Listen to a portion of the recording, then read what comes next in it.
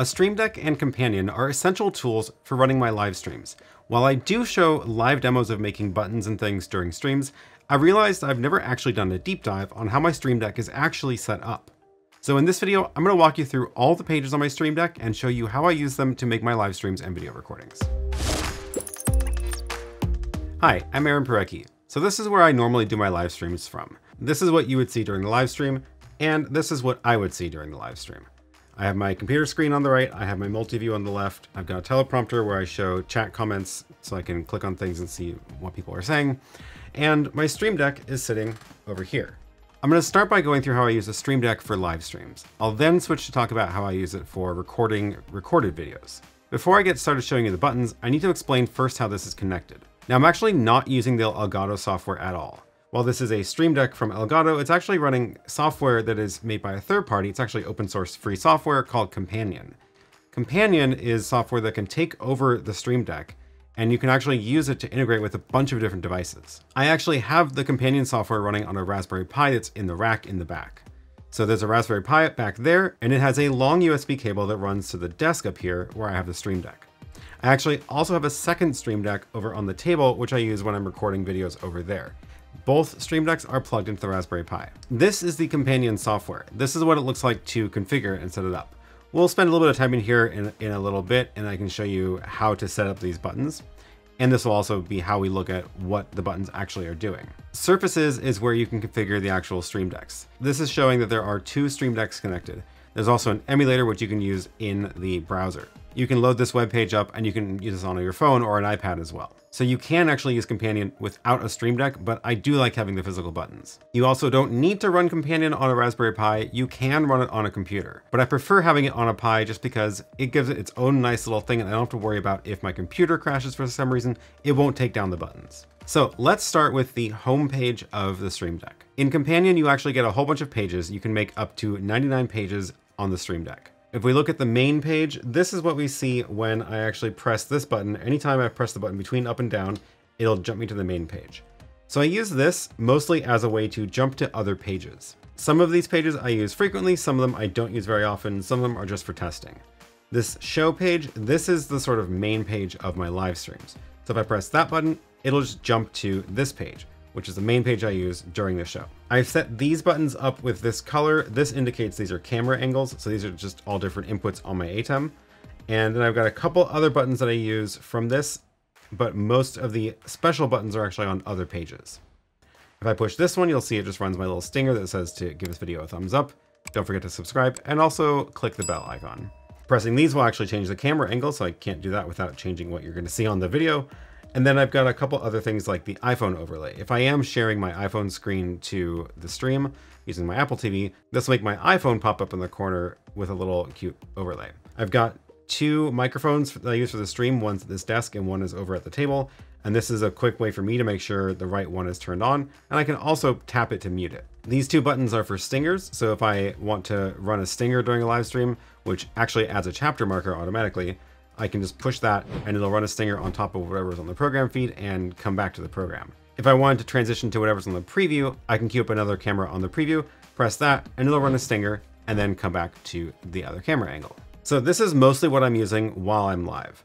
Now, before the show, I have another page, which I just press the down arrow to go to the other page. And this gives me my pre-show and outro buttons along this top row. So this will load up the pre-roll, starts the countdown music, starts the timer, uh, that kind of thing. This will actually show the map on the stream. This is where we can see all the viewers coming in and where you're joining from. And when I'm ready to start the show, I'll press start at desk and that brings in, that runs a stinger and then that brings me in live, turns on the microphone and I'm ready to go. Uh, this button actually, I am, it's it's there because it starts the show, but it starts it with the Magewell Pro Convert on the stream instead of my camera. And that's when I'm doing remote streams. So if I'm pushing video to the stream to my studio from remote and, and I'm doing a stream like, well, I'm in a hotel somewhere pushing my video feed to the studio, then that starts to stream the same way, except instead of bringing my camera and main audio online, it actually brings in the remote stream and turns on the remote audio. At the end of the show, I press credits, which which does the little translucent overlay and starts the, the credits running and the background music. I let that run for a little while, do a little outro, and then when I'm ready to say goodbye, I will find that button, press end animated, it runs the stinger, and the show is over. Music comes up a little bit louder, and when I'm really ready to end the stream, fade out and end stream, drops the music down, and then actually ends, stops the web presenter from actually streaming. So let's go into Companion and I can show you what those buttons actually do. First, I need to go to the show page. I don't know why it's page 9. It's just been page 9 for a while and I haven't moved it. So these buttons are all very simple. These are just buttons that will change what's on the program and it has a feedback to tell it to turn red if that camera is on program. All of these buttons work the same way. It's just one action in the constellation and that just changes the camera. This is what we're showing right now, super source. so you can see me and the computer side by side. And you can see that it is red because super source is on the air. But all the fancy buttons where most of the show automation happens is this second page, show number two. Pre-roll, this is where we start chaining a bunch of actions together. So now you'll see that all these buttons actually do a whole bunch of different things. And this is really where the power of Companion starts to show. With one button, I get to do all of these things with just one button press, which would normally take either pressing a bunch of physical different devices or punching a bunch of buttons on the screen, which would be possibly in different applications. Let me give you an example. First, it's going to set the program to be the media player. It's going to make sure that the right graphic is loaded in the media player. That already is on two different screens. That would have been this, clicking the button media player 2, and going into the media tab and making sure that the thumbnail is loaded in there. So already that saved me a bunch of time. Then it's going to send a command to my graphics web page, which starts a counter at 10 minutes. It brings the downstream key on air, which is where the countdown timer actually comes from. It's coming from OBS and it will bring it on, on air. Then we do some audio mixing stuff. And this is in the rack mount audio mixer that I have. So this is instead of me doing it even in the computer interface here, this is automating pushing these buttons. So what I'm doing is I'm setting the main mix to zero, which is on. Uh, I make sure I mute the desk mic and the table microphone. I mute them on the mix that's going to the stream. Then I set the downstream key on air, key number one, which apparently is a duplicate of that. So that's funny. I can get rid of that one. Sometimes that happens. Let's fix that. OBS, it actually sets the map to not visible because that is, uh, the map is also loaded into OBS and that would cover up the whole stream. And then it sets downstream key three to off, which I believe three is used for, let's double check. Downstream key three is a media player, which is the map overlay. So this is gonna sit on top of the map. My little live stream's beginning shortly uh, when I bring the map on, but I don't want it during the first part. So all of that with just one button press. Then I let that run for a few seconds. I get ready. I watch the chat to make sure that my chat is working and the comments are coming in. People start to say where they're joining from. Then I push the map button. The map button now does a couple different things.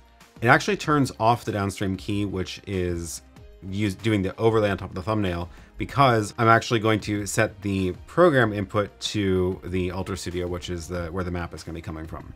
And I did that. I used to actually just have the map come sort of over top of the video, and I changed that because when it's on a downstream key, I can't do a stinger on top of the downstream key. I have to bring the map in as an actual input, and that way I can do a, a stinger over it. Anyway, you can see how complicated these things can get, and this is all just so much simpler because now I just push this one button and, and this all happens. So OBS shows the map.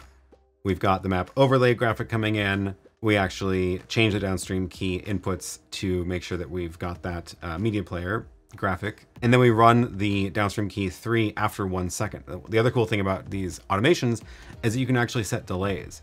So these are, um, with relative delays, it means that they run in sequence. So these all happen immediately because there's zero delay. Then it's going to wait a second before it does this one. And then this one will happen six seconds after because it's five seconds after this. And that happens at the very end.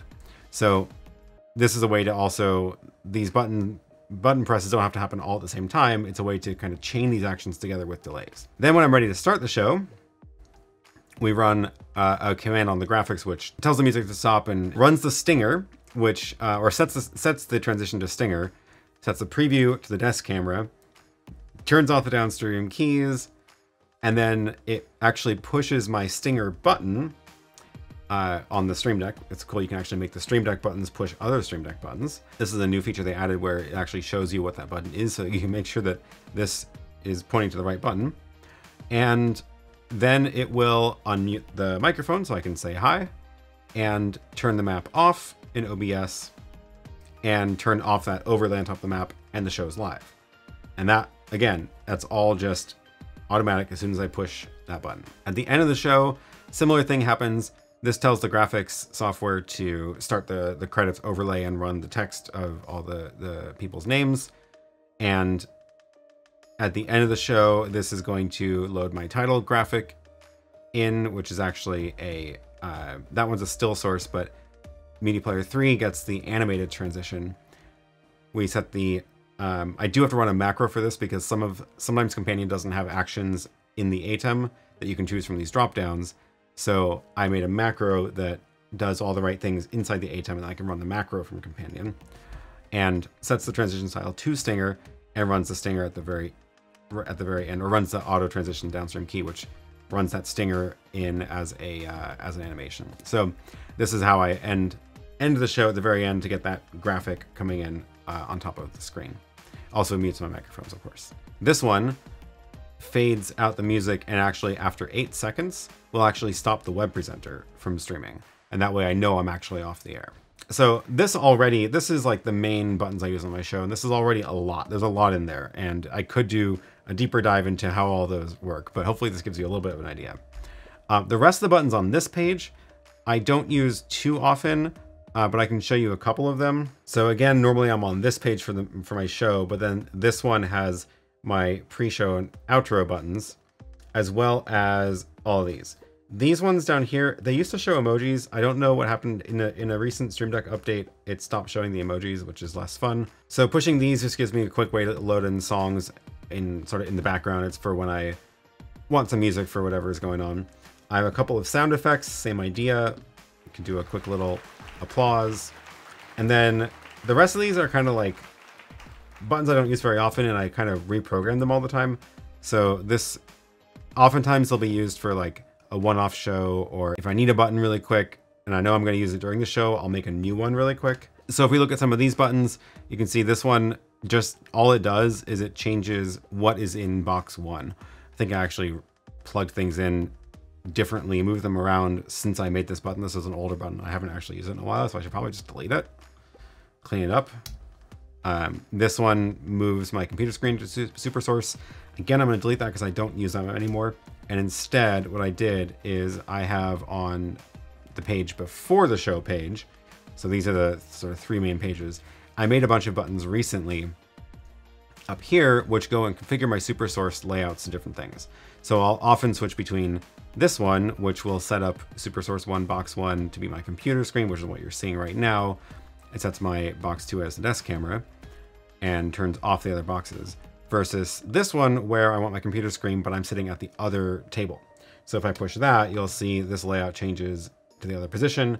And now the other camera over here is is on the screen and I can push that to bring it back to this layout. This way I can very quickly configure the SuperSource layouts because it just remembers everything for me. A couple other ones I use often are like if I want the uh, iPad, so I can show you what's on an iPad, I want a super source with an iPad where, where the screen's a little bit cropped. Or if I'm doing things like testing out an NDI feed, I can push that. So that'll do things like bring the Magewell Pro Convert into the stream as well.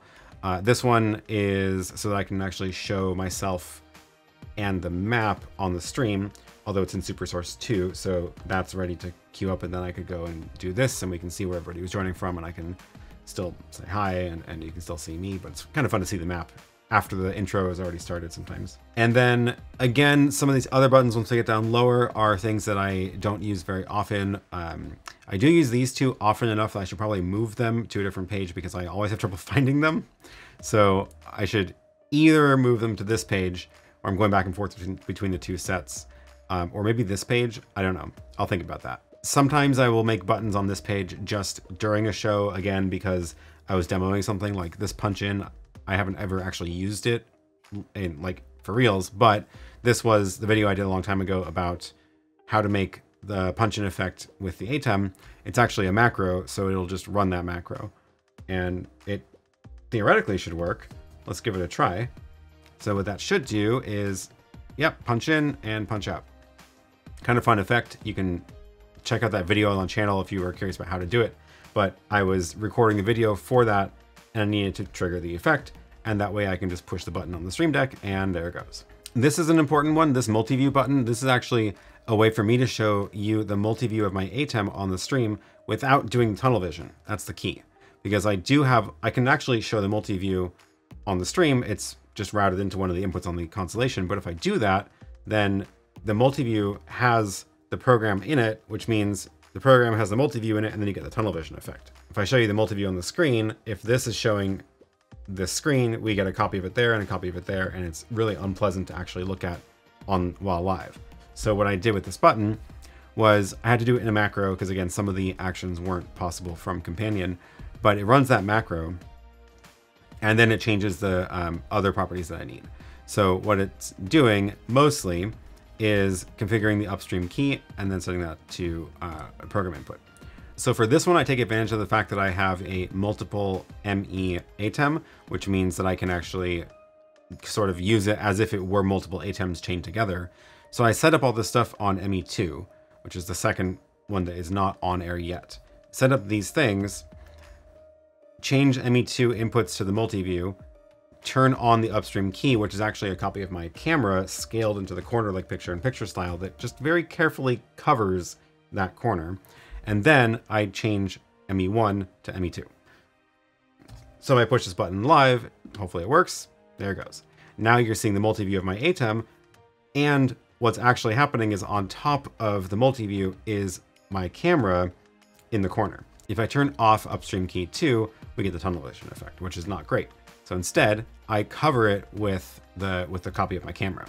And if I show you how this is actually configured, we'll go into upstream key 2 on ME2, and it is a DVE with a mask and uh, a position and size. It's scaled down to half and it's positioned at just the right spot.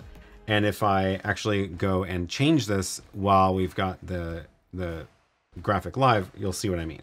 So I'm gonna go back to the multi-view layout and now on my computer screen, which you can kind of see in the bottom corner of the, of the screen here, as I move this around, it's just gonna move that and I just, you know, get it in just the right spot so that it, it covers up the corner. That way we cover up the tunnel vision with a camera. And instead of doing that live, which is not super fun, I've saved it all as a preset and I've got it in one button in Companion. So those are the main buttons that I use during a show. Now, I also want to talk about how I use the Stream Deck for recording videos, like what I'm doing right now. For recording videos like this one, where I'm actually kind of recording it live, I have been using this main page of the Stream Deck for this video, which is kind of unusual. Normally I'm over at the table and I'm sitting at the table where I've got a couple different angles of products and I want to do maybe less of a live to tape and more either just reading a script and then shooting b-roll or you know different ways of filming. And for those, I have different pages on the Stream Deck that I use. So going back to the main page, I can always jump to the main page by pushing that button, no matter what page I'm on. This, again, is my sort of launcher screen. Before I get into the recording pages, I actually want to first talk about this monitors button. This goes to a page where I can configure what's happening on four of the monitors on my room, in my room. I have a monitor at the table. I've got the side monitor, which is in the one at my desk in front of me here. The upper monitor is currently actually off, and then I got the teleprompter, which is at the table. And these let me, because all the monitors are actually not plugged directly into whatever they're plugged into, they're all plugged into my ATEM, I can use it as a matrix and I can change what's on them. So let me go back to show you the rear view of what I'm looking at. So this monitor is not actually plugged in directly into the ATEM. Instead, I'm going to go to the monitors tab on my Stream Deck go to the side monitor and I can change this to other things. I can change it to the Apple TV. I can change it to ME1. I can change it to the multi-view or my other multi-view. So this lets me do things like, oh, I want to see a close-up of this camera to make sure it's in focus or whatever. Or or I can go, if I need to use my Apple TV, like uh, I'm screen sharing my iPad to it or something, I can actually use my, my screen that way. So this is a super handy thing, and I've programmed in uh, just the most common sources that I use on each monitor. right? So my, my table monitor is often set to the computer so I can work on a script or use use my computer during a live stream over there. But if I wanted to be filming something where I might need to see a close-up of what I'm filming, I would change it over to ME1, and now that monitor is showing a giant version of whatever is being recorded. Same with multi-view if I wanted to see all the cameras.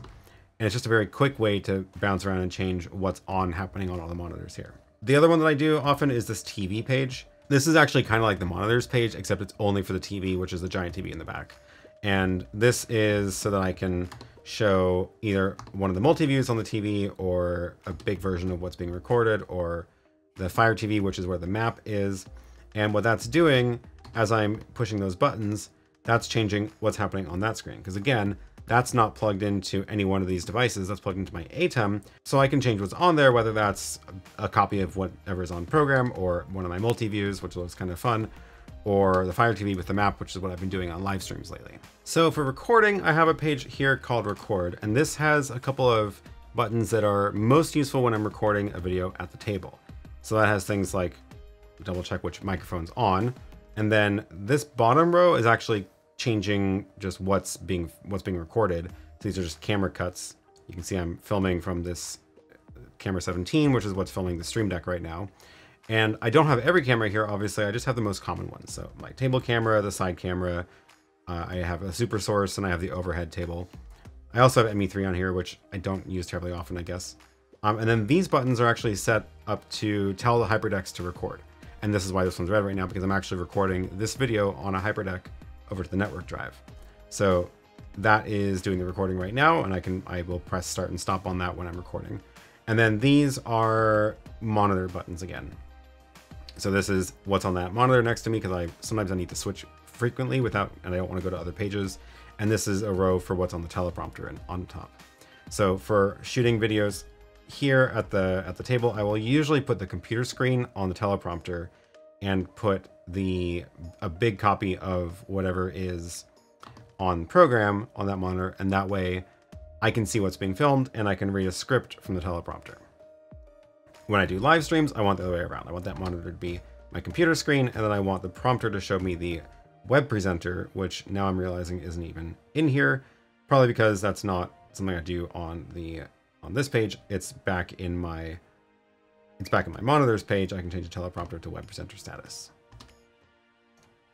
So this one works for most of the videos. Sometimes I have a more special case, and for that, I might actually make a special page for it. Like this one, record ATEM Mini ISO. This is when I was doing a video on the ATEM Mini ISO and I needed buttons for just changing between the cameras on that. And this is changing what's on the monitor next to me. And again, I record on the HyperDeck or record on the ATEM. Another page was worth calling out here is the audio page. This is just a quick way to double check audio sources and make sure that the right ones are on or off. So desk mic, that's what I'm using right now to film this. And you can see there's lots of free space here because sometimes I don't fill up the pages. I just have the very, you know, purpose specific pages. For the BTS stream for members, before we start the stream, I have this separate page, which is the same pre-roll and start buttons, but these buttons, I actually do the BTS stream on the ATEM Mini ISO that's on the rack back there. So this is just changing between the inputs there. This one is a special button. This is the setup routing button, which this actually makes sure that the right things are being fed into that ATEM. So if you look at the back of my rack, there's an ATEM mini ISO up there. It's actually the SDI model. And I have four of the SDI, those four inputs are actually being fed by the constellation in the rack. So that setup routing button will actually go and make sure that the right things are sent to each one. So it says aux1 in the constellation is ME1, aux2 is the rear camera, 4 is the fill, which is uh, for the, the countdown timer, and I have the uh, media player set to a BTS thumbnail. I click that, I click pre-roll, and I start the stream, and then um, sometimes I will do the audio from the main the main setup, or if I do have a wireless mic, I will put the receiver on that and then use the mic one audio here. And this lets me, again, quickly control just for the BTS stream, control what's going on. This button also does the actual start and stop streaming so that I can make sure I'm actually on or off the air. This is all just to say that how I use this is possibly slightly different from how you might think of, other people might think of a Stream Deck, where I'm not using it as a generic tool to control any one of these devices. Like there are presets in, in here where you can create buttons and you can create them as presets for any of the devices you have connected. So like the ATEM SDI, I can go and quickly make a button that says bring camera one on air. And you can make a nice generic controller for any of the devices using the presets and going deeper and making your own as well. But I don't end up doing that because what I do is I make these specialized pages that might talk to multiple different devices at one time. The best example of that is my my show page with the pre-roll and the map and that kind of thing, where it's actually talking to like five things at once, and it's so that I get one button press and I know what's going to happen and I don't have to be hunting through pages or pressing a bunch of things all at the same time. So I know we didn't get to all the buttons in the Stream Deck, but that's kind of the general way that I have it set up. I have these purpose-specific pages that do either something that's for a, a, a particular use like a live stream or recording or just configuring the monitors in the room. And that way I can kind of keep it in my head of what's where and I know where to find things. And there's oftentimes free space enough to be able to create things on the fly. I will often find myself creating a Stream Deck button during a live stream because I need to control something new or I need something to work just a little bit differently than it did. And it's nice to be able to just quickly go in and set that up on the computer. I hope this video gives you some ideas of how you might use a Stream Deck with Companion as well. Links to everything, of course, are down below, including the extra long USB cables I use to make that run to the back of the rack. As always, thanks so much for watching and I'll see you in the next one.